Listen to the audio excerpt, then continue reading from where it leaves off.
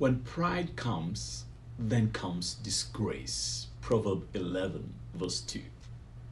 This is the strong warning of Solomon, the wise man, about pride and being boastful. How can we overcome boastfulness? Esther 5, the chapter of the day, tells us about the actions and mindset of a boastful man, Haman, the advisor of King Xerxes. Verse 11 reports these words Haman boasted to them about his vast wealth, his many sons, and all the ways the king has had honored him, and how he had elevated him above the other nobles and officials. He bragged about what he had and that he had received more than others. He did that in front of his friends and Zeresh, his wife.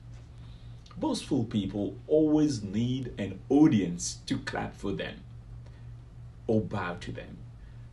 Affirmation is not bad but here, the absence of constant supporters makes the boastful to feel that something is missing, even when they already have much.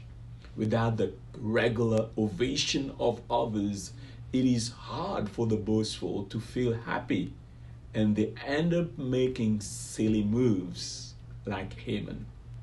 This was the problem of Haman.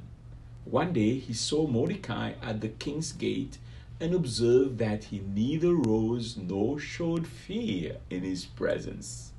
The situation disturbed his good mood, put him in a rage, and would later lead him to plan the murder of Mordecai.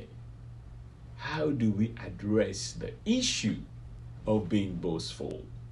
Some people are good at hiding to others that they are boastful or full of pride. They know very well how to look humble. And this can help.